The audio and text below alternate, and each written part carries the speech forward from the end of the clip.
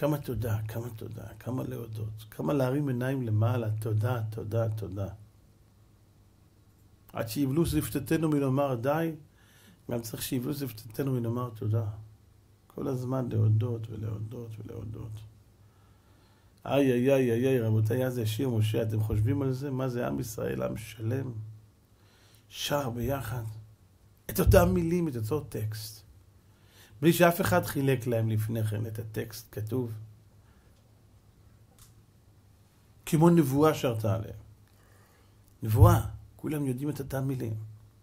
כולם שרים את אותם מילים. שמעתם פעם 600 אלף איש, גברים בלי, בלי ילדים עוד? אתם חושבים על זה ביחד עם הילדים? יש שם איזה 3-4 מיליון איש, שמעתם פעם 3-4 מיליון איש שרים ביחד?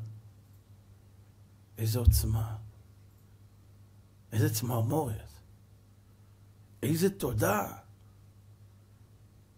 אז ישירו שוב בני ישראל את השירה הזאת לשם. שיר על השם כי גאו גאה, סוס ורוחם ורמה וים. עוזי וזמרת יהווה יהי לישוע. זה אלי וענווהו אלוהי אביו הרב ממנו. אדוני איש מלחמה, אדוני שמו. מי שהוא איש מלחמה זה רק הבורא יתברך, מי שעושה את כל המלחמות זה רק השם. הכל זה הוא יתברך, אנחנו לא עושים כלום. גם אדם שהיה חולה והיה אצל רופא, זה לא הרופא ריפא, ורפא ירפא ניתנה רשות לרופא לרפאות, אבל הרפואה היא רק מת השם. כמה צריך להודות? כמה צריכים להודות? איי איי איי רבותיי, נתת ליראיך לנס להתנוסס, אומרים חז"ל. מה זה נתת ליראיך נס להתנוסס? מי שעושים לו נס ומודה, עושים לו עוד נס. שנאמר, נתת ליראיך נס להתנוסס. עשו לך נס והודית, תקבל עוד נס.